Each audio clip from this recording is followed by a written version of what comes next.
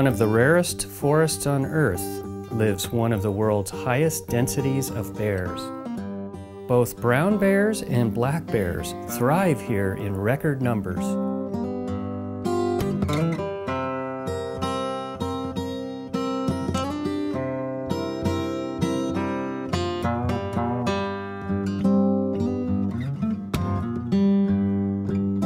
Bald eagles are also plentiful, with a nesting density higher than anywhere else in the world. Just off the coast, the ocean teems with life.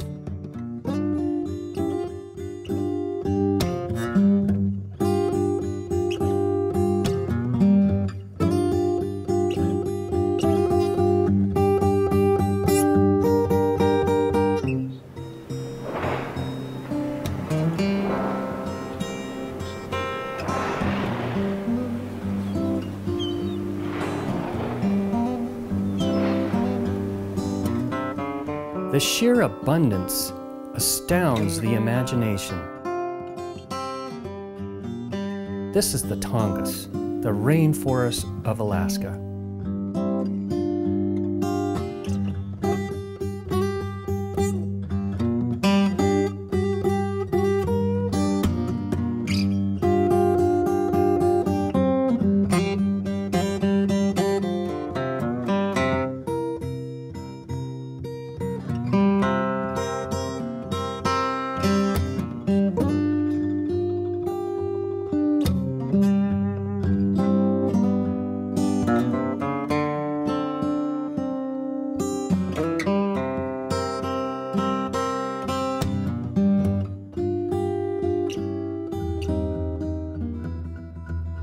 The Tongass is located along the coastal panhandle of Alaska and also covers thousands of islands.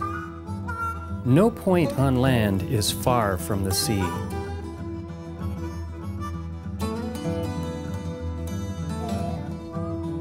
This is a place where bears dig for roots in the forest and clams on the beaches.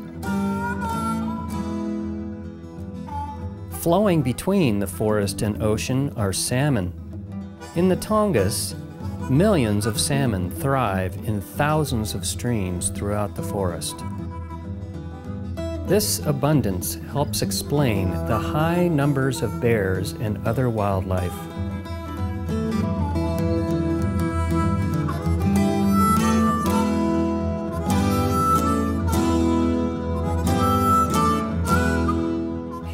It can be said that bears are made of salmon.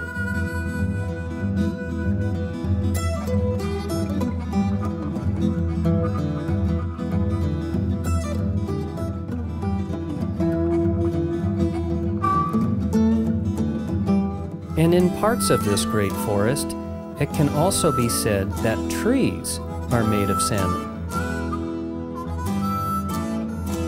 How can this be? When I learned that scientists had discovered salmon in the trees, I knew I had to come here and see what this place was all about. And I knew I had to photograph it so that others could see it too. To understand the connection between salmon and trees, you first have to understand the life cycle of salmon. Salmon are born in freshwater streams and rivers. At a certain age, they leave the streams and make their way to the ocean. They spend anywhere from less than a year to seven years at sea. Then, they leave the ocean and return to the same streams and rivers where they were born.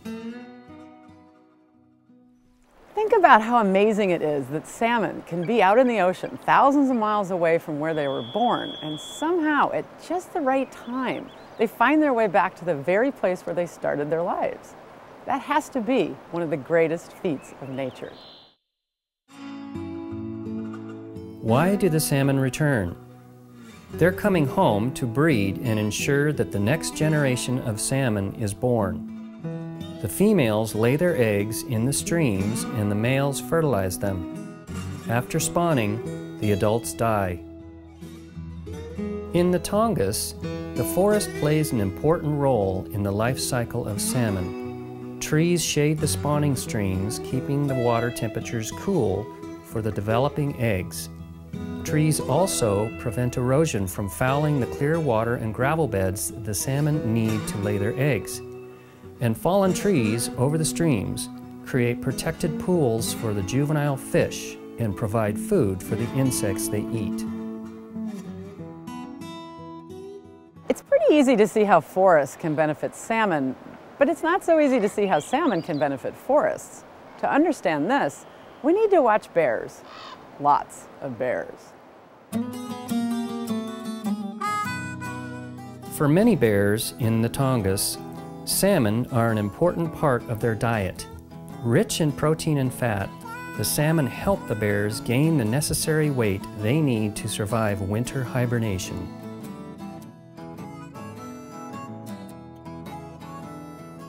When the salmon fill the streams, the whole forest comes alive. There are bears everywhere, eagles screeching, ravens cawing, and just watching this vibrant show of life going on all around you. I know that for every one thing that I choose to photograph, I'm probably missing a hundred other things going on right around me. For a long time, no one paid much attention to all the salmon that ended up in the forest. Often, bears will carry a fish away from a stream in order to avoid conflicts with other bears. It turns out that bears can move a lot of salmon into the forest. Researchers say one bear might carry 40 fish from a stream in eight hours. At certain times of the year, the bears target the richest parts of the fish and leave the rest behind. Other animals feed on the remains and spread the salmon farther throughout the forest.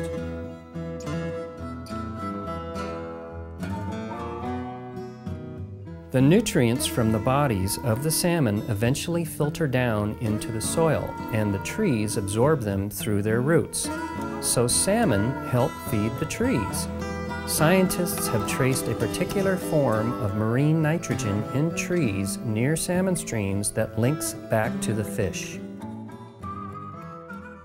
Salmon not only grow the trees, but they actually grow in the trees. Once you understand this remarkable connection, you quickly see that everything here is connected. The oceans, forests, salmon, and trees, we need the same things that salmon need in order to thrive. Clean, fresh water, unpolluted air, a stable climate, and a healthy food supply. What happens to the salmon if we cut down the forests? What happens to the forests if there are no salmon? What happens to the bears, the eagles, and the sea lions? And ultimately, what happens to us? The Tongass is one of the rarest places on the planet, and it's astounding that this connection between salmon and trees is still intact. The Tongass is a national forest. It's public land, entrusted to all of us. What an incredible gift. I hope that we ensure that the Tongass continues to be a place where trees grow salmon and salmon grow trees. It's up to us.